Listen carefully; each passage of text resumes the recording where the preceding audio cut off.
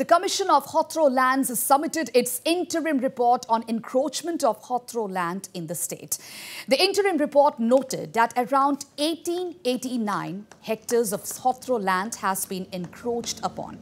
As per the interim report, the maximum number of encroachments took place in Barpeta, followed by Lakhimpur. However, Chief Minister Himanta Biswa Sarma maintained that this is only an interim report and more Hotro lands will be inspected.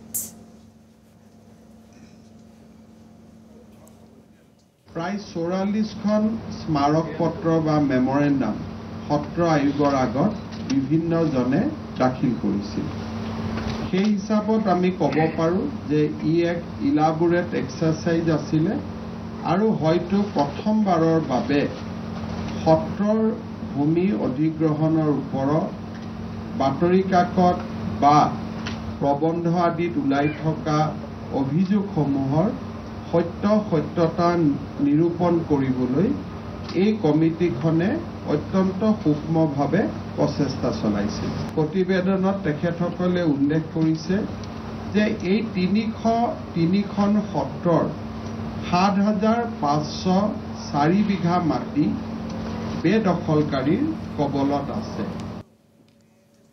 And also, let's listen into what former Minister Pradeep Hazarika, who heads the commission, had to say on the interim report.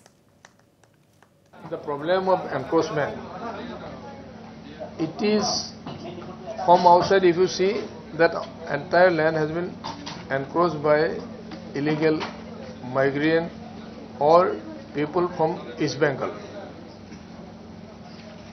And this uh, when we saw from the outside, we went into the field and we find that this land has most of the land has been acquired under the Act, this Religious and Charitable Act 1990 or uh, 1959.